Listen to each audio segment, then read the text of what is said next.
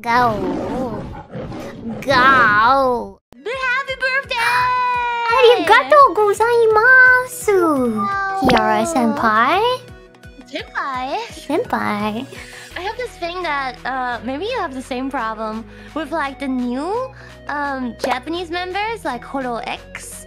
Uh, I call them senpai by accident. Is that you have the same problem? Is that weird?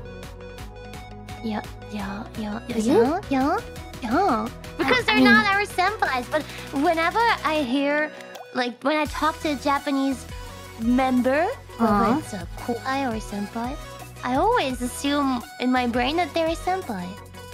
Oh, I think my brain like saying like uh Koyori senpai. It sounds Yeah. good in my brain, so my brain like attaches it. good, right? Yeah, it's like tasty treat for my brain. I'm like, oh, Koyori Yeah. senpai. It sounds right. I keep on saying Koyori senpai to her, indeed. Except Laplus, Laputan always just sounds right in my brain. Yeah, for that's why I just say Rapu-san because she intimidates me. Lapusan, really? She intimidates you? Yeah, because there were some things, but whatever. Let's change mm -hmm. the mm-hmm. topic. wow. yeah.